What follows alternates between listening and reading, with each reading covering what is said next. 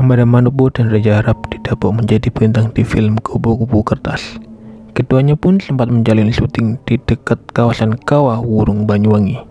Namun secara mengejutkan Ahmad Manopo dan Reza mengabarkan soal adanya kebakaran yang terjadi di dekat lokasi syuting film mereka. Saat proses evakuasi, Amanda terdengar menyuarakan ketakutannya. Reza lantas mencoba menenangkan lawan mainnya itu dan kemudian ngobrol dengan kru untuk bersiap-siap menyelamatkan diri. Kamu bareng-bareng aja dah. Di Instagram, Reja juga sempat mengungkapkan kondisi bukit yang terbakar dan berada di dekat lokasi syuting kupu-kupu kertas. Ia juga mengaku tak tahu apa yang menyebabkan terjadinya kebakaran.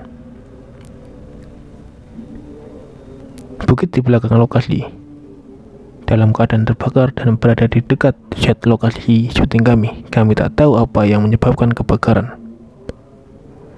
Kami masih harus syuting dua adegan lagi, tapi kami harus menghentikan syuting karena api semakin membesar dan menyebar cepat ke set lokasi syuting kami.